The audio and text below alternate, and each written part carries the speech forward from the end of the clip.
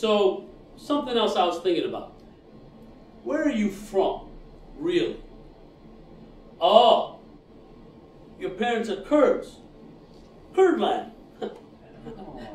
I live in a very diverse neighborhood myself. There's an interesting mix of people there. One of my neighbors, for example, from Pakistan. But really lovely. Uh, super nice. Really. And there's the starting shot for the topic of conversation I've been forced into a thousand times and still can't avoid. As Dad likes to say, when people want to talk origins, they're like volcanoes, impossible to stop.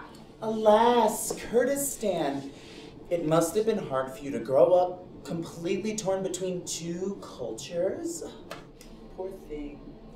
And I said to my neighbor, You can eat your food, and I'm fine with your obligatory five hours of daily prayer.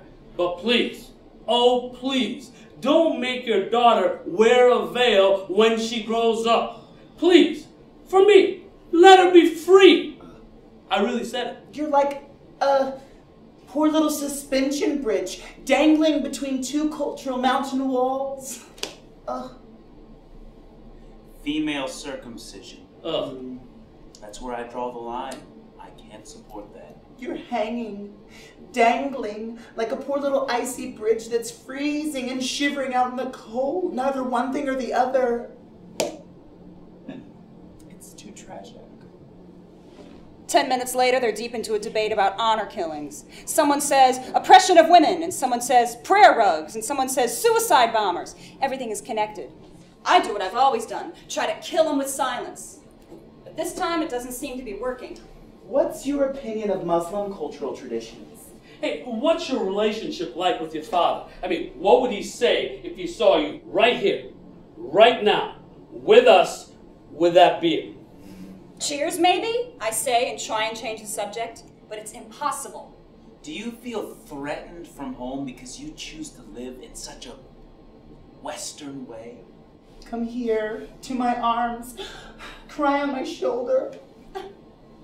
I can completely understand that it must be incredibly difficult to find your way as a woman in such a traditional climate. At that point, I've had enough. I refuse to give up this time.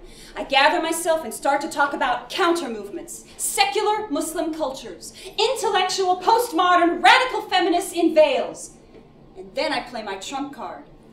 And you've all heard of, um, of, uh, I'm trying, of course, to tell them about my new idol, the Muslim director Awatif, who was a global success with her productions of Endgame and Hamlet Machine, the woman who inspired me to study theater. But suddenly I have a blackout, her name is gone, and instead I hear myself say, and you've all heard of Abulkasem, haven't you?